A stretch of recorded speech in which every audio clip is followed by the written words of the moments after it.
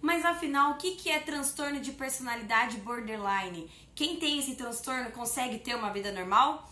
Vamos lá para os 10 fatos de quem tem transtorno de personalidade borderline. Agora meu, meu produtor vai fazer uma edição. Oi pessoal, aqui quem fala é a Milena Pessoni. Antes de começar o vídeo, já vai deixando o seu like no vídeo e se inscreve no canal. Mas sem mais delongas, vamos pro assunto que interessa. Primeiro fato sobre quem tem o transtorno de personalidade borderline: instabilidade emocional. É difícil, porque a gente vive numa montanha russa, por exemplo. É muita raiva, é muito amor, é muita alegria e tudo isso pode variar em coisas de um dia. Um dia eu posso ter vários sentimentos diferentes e, enfim, a instabilidade emocional. Segundo fato, a impulsividade. Gente, isso acaba com a gente. Porque, por exemplo, eu já me declarei para pessoas que eu não queria ter me declarado. Depois de um dia eu falei, opa, que merda que eu fiz, né? E a gente é impulsivo em tudo que faz, em compras, é, em tudo. Enfim. Terceiro fato. Fato, é. Terceiro fato, manifestações inadequadas de raiva.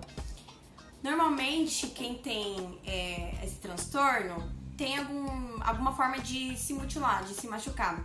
Normalmente as pessoas se cortam, batem, batem em si mesmas. Eu já aconteceu de eu dar alguns soquinhos na parede. Quando a gente tá com raiva, a gente age de formas inadequadas. E inadequadas é se bater na parede. Enfim. É, quarto, quarto fato sobre. Peraí. Editor, corta essa parte. É minha letra tá ridícula, gente. Não tô conseguindo entender nada. Quarto fato. Baixa autoestima. Gente, eu sei que vocês podem agora estar tá me xingando internamente, mas infelizmente eu tenho baixa autoestima.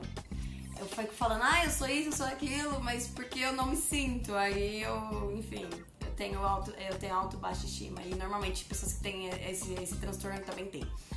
Vamos lá. É, quinto fato tendência suicida. Isso é da, do transtorno. A gente sempre tende ao suicídio. Mas eu, né, como graças a Deus eu tenho minha vida em Cristo, em nome de Jesus, né? Então, enfim. É. O sexto fato.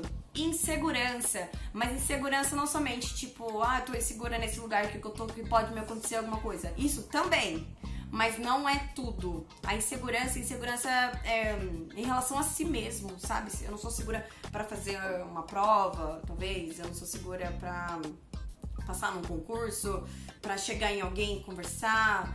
É, enfim, é insegurança em contexto geral. Porque, exemplo, é questão do medo também. É muito isso, de insegurança de estar aqui sozinha, enfim. Vamos lá. Sétimo fato. Não aceitar críticas ou regras.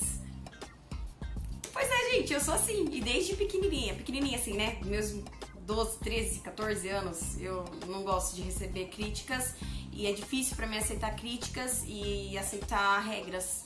É, eu começo a ficar nervosa e começo a estourar e quero brincar de soco, soco, bate, bate na parede.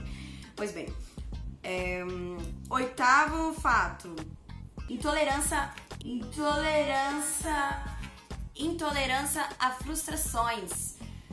A gente se frustra e uma pessoa normal que não tem o transtorno de borderline, é, por exemplo, recebeu um não a pessoa encarar normal, tipo, ok, a pessoa falou não, mas eu vou conseguir um dia sim. Agora a gente que é de borderline, a gente não aceita não.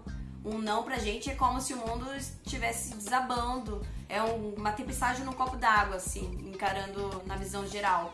Porque a gente não encara assim, é uma coisa enorme pra gente receber um não, então ser criticado, enfim.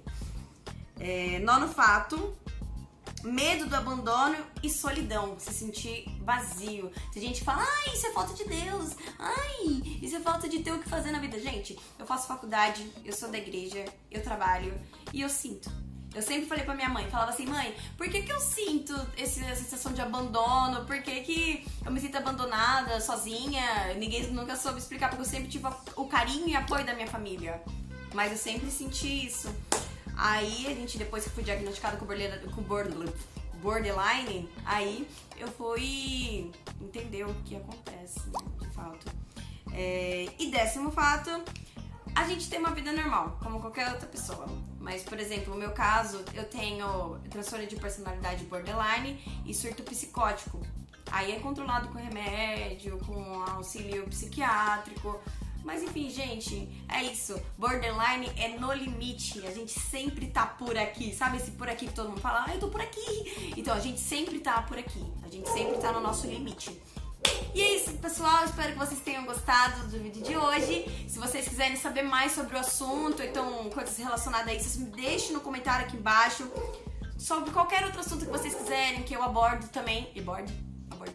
Vocês colocam aqui embaixo também, vocês escrevem aí que eu leio todos os comentários. E é isso aí, pessoal. Fiquem com Deus e até o próximo vídeo. Tchau, tchau.